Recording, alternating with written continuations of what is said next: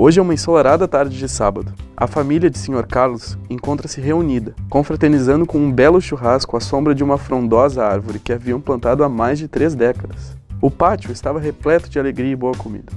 O Sr. Carlos, avô de Pedro, é um senhor de 83 anos, usuário de cadeira de rodas, aposentado e que já sofreu um acidente vascular encefálico. Mesmo com as sequelas motoras, Sr. Carlos consegue falar e se alimentar sozinho, mas depende da esposa, Sra. Maria, de 75 anos, que também é aposentada, para cuidar de sua higiene, incluindo a bucal. Mesmo nessa situação de certa dependência, Sr. Carlos é muito participativo, está sempre de bom humor e gosta muito de um bom churrasco com os filhos e netos. Dona Maria, sua esposa, administra o lar. Mesmo com a vida agitada, ela consegue dar suas caminhadas ao final das tardes pelo bairro onde mora e consegue buscar o neto na escola ao final de todas as manhãs.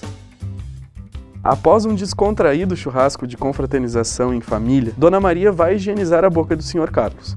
Pedro, o neto, segue os avós e fica interessado em conhecer a boca do avô. Nesse momento de interação entre as diferentes gerações, avós e neto conversam sobre cuidados em saúde bucal. Desse modo, Pedro conhece as condições da boca de uma pessoa idosa por meio da avó, que diz que é ela quem faz a higiene do seu marido. Dito de outra forma, a avó é cuidadora da higiene bucal dele.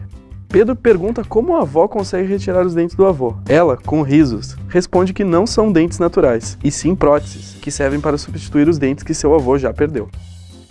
Logo em seguida, Pedro exclama assustado que seu avô não tem os dentes. O avô, com muita paciência, responde ao neto que havia perdido muitos dentes, mas que mantinha alguns. Depois disso, ele convida o neto a olhar sua boca, bem de perto. Nesse momento, com uma lanterna e praticamente dentro da boca do avô, Pedro consegue observar e analisar várias coisas. Ele diz que o avô tem pouca saliva e que a língua também precisava de uma limpeza. Com a conversa com os avós, Pedro percebeu algumas condições internas e externas da boca do avô, como a diminuição do volume do lábio e da gengiva e alguma inflamação no canto da boca.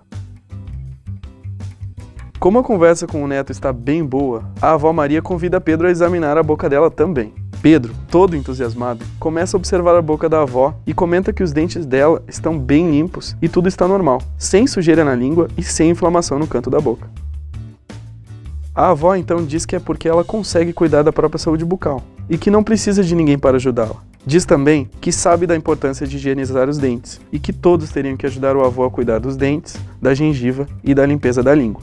No meio dessa conversa, Luiz, pai de Pedro e filho de Sr. Carlos e Dona Maria, escuta os pais e o filho conversando e entra na sala onde eles estavam. Ele pergunta o que eles estavam fazendo. Pedro diz que precisavam cuidar mais da boca do avô, pois a avó não estava conseguindo. A avó afirma que não consegue porque tem medo de machucar, já que não sabe direito como fazer. Disse também que sozinha não consegue levar o Sr. Carlos para o dentista da unidade de saúde da região. Ela acredita que indo ao dentista conseguirá saber como deve manter a saúde bucal do marido.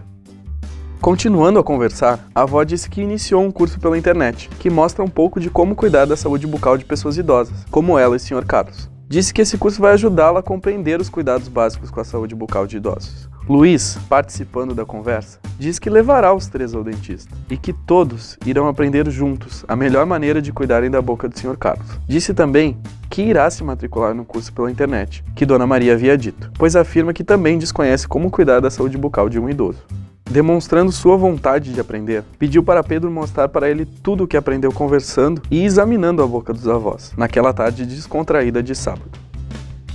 Alegres com a possibilidade de aprenderem a cuidar da saúde bucal de idosos, o pai disse que no próximo sábado todos iriam sair para comer pizza.